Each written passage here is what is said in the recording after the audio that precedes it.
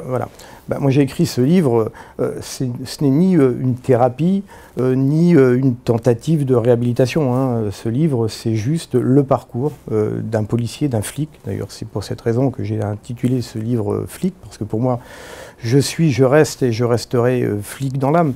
et c'est un parcours professionnel, long de 35 ans, avec beaucoup de réussites, beaucoup de moments d'émotions très intenses, beaucoup d'affaires et aussi euh, un livre qui se termine par une chute qui m'a euh, affecté euh, profondément.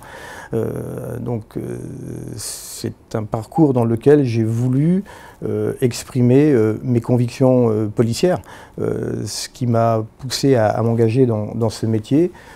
et cette conviction lié à la recherche du renseignement pour faire euh, euh, avancer euh, des enquêtes, pour aboutir à, des résultats, pour protéger la société, puisque le but du travail de tout policier, c'est de protéger la société et d'écarter de la société un certain nombre de prédateurs.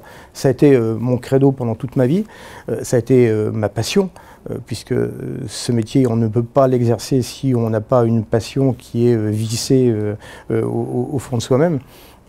Donc euh, j'ai essayé de, faire passer toutes ces émotions et de, raconter euh, de manière euh, sincère mon parcours.